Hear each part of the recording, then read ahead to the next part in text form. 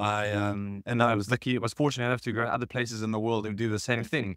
But it was just that's my view on leadership is that we so often overthink it that we looking for the silver bullet. But when I work with the customers I work with now, and you'll know this, Paul, from your from your career, is that people stand in their own way. At the end of the day, no matter what it is, if it's doubt, if it's um, trying to impress people, whatever it may be, not avoiding confrontation, avoiding meetings with your team, it's all because you're standing in your own way.